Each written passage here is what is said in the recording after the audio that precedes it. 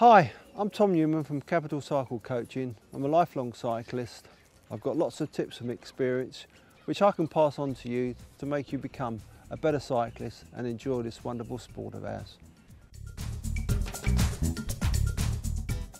It's not a complicated area, but it's an area that needs a bit more clarification. For example, if you're a guy who's coming in for a standard road bike, the sums are fairly simple.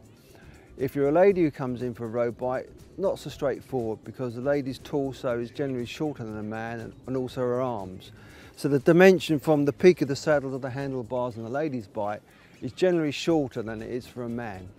You don't want to buy a frame that's too large for you because obviously it's more heavy because there's more material in it. But there again, you don't want to buy a frame which is too small because it, it will be more sort of twitchy to ride and it will flick across the road Generally speaking, time trial frames are normally smaller than the standard road frame because the idea is with a smaller frame, the distance from the road to the handlebars are going to be less compared to a road bike.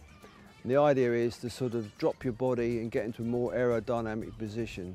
If you're looking at sort of folding bicycles, which is one of these, generally speaking, one size suits all and you fiddle, fiddle up and down with the, with the height of the saddle which goes up and down and you set it to whatever size you want.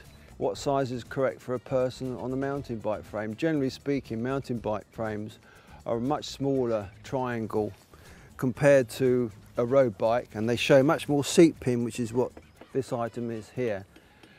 To get our ideal fitting, it's advisable to go to a reputable cycle shop, but having said that, if you've got a friend who's in the, in the cycle business or know someone who knows a bit about bikes, then they can give you some general ideas on what sort of size.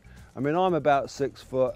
I would generally ride a road frame about 58 centimetres. Generally speaking, the height is measured from the bottom bracket to the top of the saddle. So if you jump on a bike and you get that dimension, where in this case here, it's about sort of 770 uh, millimeters, which is about 30 and a half inches. And when you get on the bike, the idea is to have a leg, which is the knee is just slightly bent when the pedal is at the bottom of its stroke.